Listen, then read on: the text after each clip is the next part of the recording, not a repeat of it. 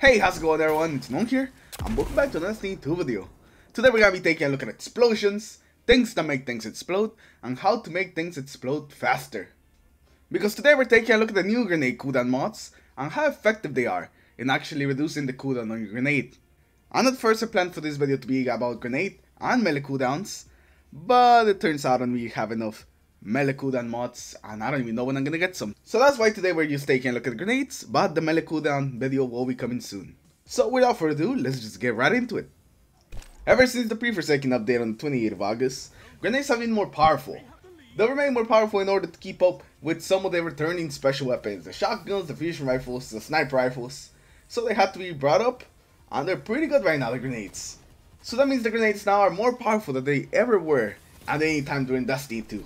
So we should really try to take advantage of them as much as we can. Alright, so now let's take a look at how much time it actually takes you to get your grenade back. And the grenade cooldowns is the same for all classes and all subclasses. Your grenade cooldown for having no grenade mods is to be a minute and 22 seconds, which is not as bad as it used to be, nowhere as bad as it used to be, but still a pretty long time.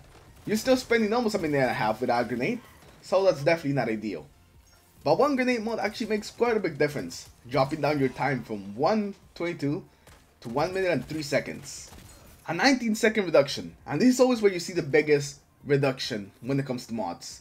Going from 0 mods to 1 mod, it uses such a huge time that it cuts. For 2 mods, you're gonna go from 1 minute and 3 seconds to 51.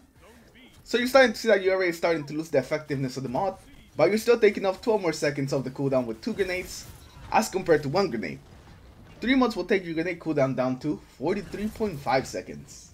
Now it's even less than 10 seconds, now you're losing 7.5 seconds from taking your mods from 2 to 3.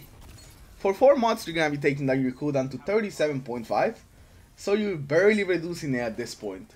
You only lost 6 seconds from adding another mod, from moving to 3 to 4. So this is when it starts to not really be worth it anymore, and it's very apparent with 5 mods now. Moving from 4 mods to 5 mods will only take four and a half seconds, bringing down the cooldown on your grenade to 33 seconds. Just like we saw with the super mods, it's not that great of an idea to go with 5 of the same mods. It's just not worth it towards the end. Maybe you're doing a specialized build that focuses 100% on grenades, but if you're not, you probably don't want to go with 5 mods. Because at 4 or 5 grenade cooldown reduction, you're barely losing any seconds, so it would be much better for you to use equip some other mods, maybe a super cooldown reduction mod or maybe a melee cooldown reduction mod, something different that will give you a more noticeable advantage in another area.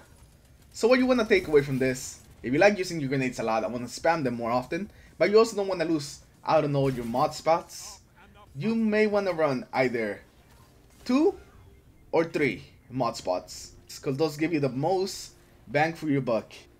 I recommend 3 mods because it basically cuts your grenade cooldown almost by 50%, doesn't quite get there, it's around the high 40s, but it's still pretty close to getting your grenade in half the amount of time.